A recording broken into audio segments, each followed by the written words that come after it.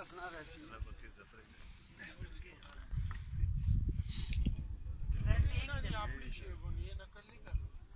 अभी हम उस मस्जिद के करीब जा रहे हैं तकरीबन डेढ़ सौ फीट दूर है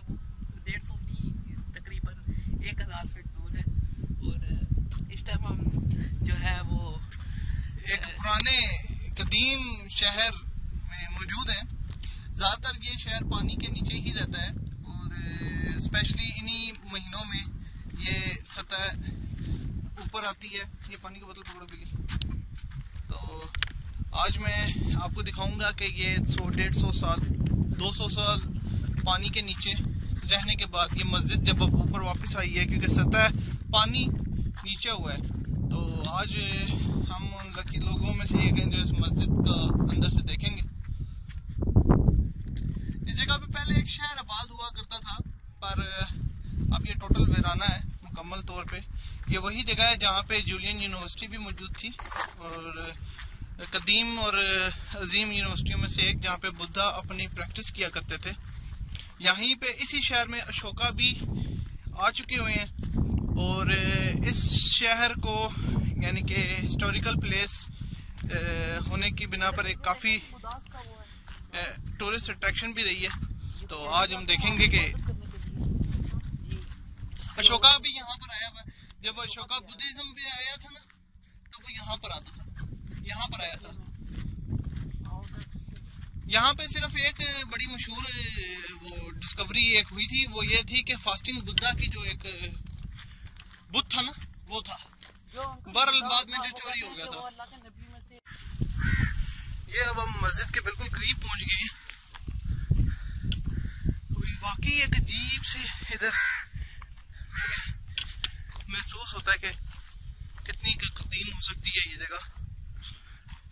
पानी के तेज बहाव की वजह से इस मस्जिद को काफ़ी नुकसान भी हुआ है, क्योंकि ये मस्जिद पानी के नीचे रही है। जब पानी का बहाव ज़्यादा होता है तो ये मस्जिद डूब जाती है।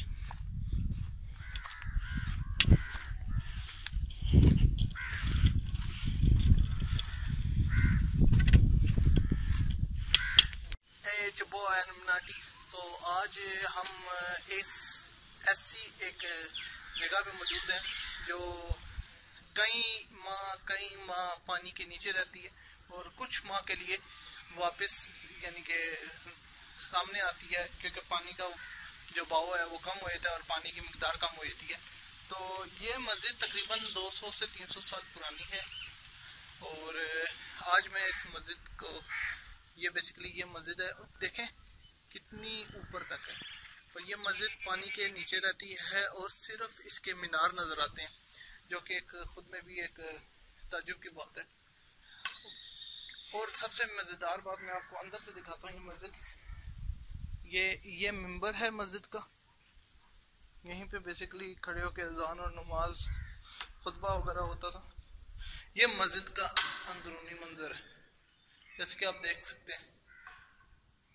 मस्जिद का जो लेंटर है, वही पुराना डला हुआ है। जो अंग्रेज़ों के दौर का, ये अंग्रेज़ पहले के दौर का होता था, ये पीछे। अब कुछ बचा है नहीं इतना खास, पर अल्लाह ने आज भी इस मस्जिद को बात किया हुआ है। ये मस्जिद है। और जैसे कि आप देख सकते हैं, मैं आपको इसको दिखाता हूँ। ये देखें, इसका आधा हिस्सा नीचे गिर चुका हुआ है। और जो कि एक दुख की बात है, हमारे हमें बाला को इस चीज़ का ध्यान रखना चाहिए कि हमारे हुक्मरान जो हैं, जो हर चीज़ को मतलब सियासत में लेते हैं, इस मस्जिद का उन्होंने कुछ नहीं किया। ये कदीम तरीन शहर आज भी वीरान पड़ा हुआ है। ये कदीम तरीन मस्जिद आज भी वीरान पड़ी हुई है। और ये मस्जिद पानी के नीचे रहती है। वो सिर्फ़ कुछ माह के लिए पानी यानी कि इस मस्जिद का दीदार हो सकता है। मैं काफ़ी अच्छे से इस मस्जिद के बारे में सुना हुआ था और स्पेशली आज मुझे मौका मिला कि मैं इस मस्जिद के बारे में फिल्मा सकूँ तो ये वो मस्जिद है जहाँ पे मतलब कि एक ज़माने में बाकायदा नमाज़ हुआ करती थी। आज ये मस्जिद वीरान है। और यहाँ के लोग जब भी ये मस्जिद इनके पानी से बाहर आती है तो यहाँ के लोग यहाँ पे नमाज़ अदा करते हैं और यहाँ पे नफल अदा करते हैं। तो यही मस्जिद थी। आगे मैं आपको मंजर दिखाता हूँ। यहाँ पे चिराग रखे जाते थे रात के वक्त के लिए। और यहाँ पे एक हुआ करता था यहाँ पे चला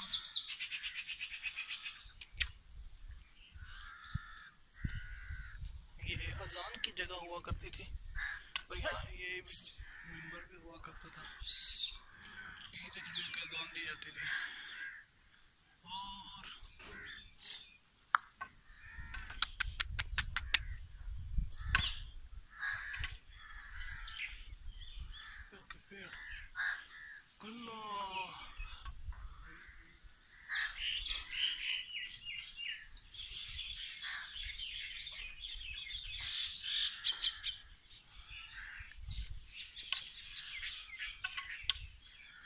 ये एक कदीम जगह है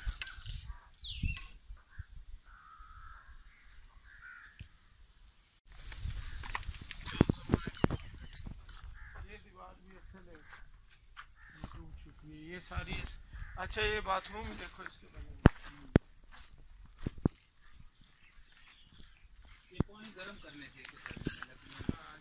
भी लगाते थे ना ताकि पानी गर्म हो सके।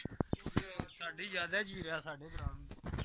ये नीचे आग लगाते थे ताकि सर्दियों में ये जगह गर्म हो जाए उसके अंदर पड़ा हुआ पानी ठंडा ना हो और फिर इधर से गर्म पानी से वज़ू किया ये पुराने जमाने का गीजर और वज़ू खाना खिला सकते हैं।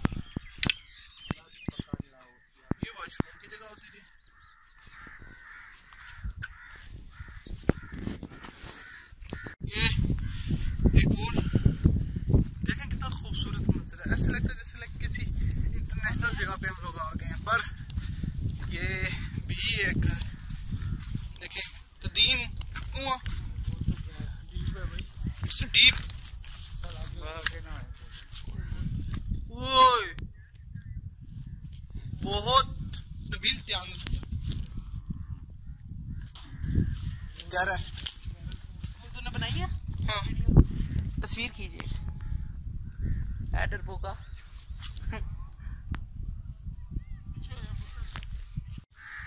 that's it uh, hope you like my video kindly subscribe share and i will show you more or uh, let's see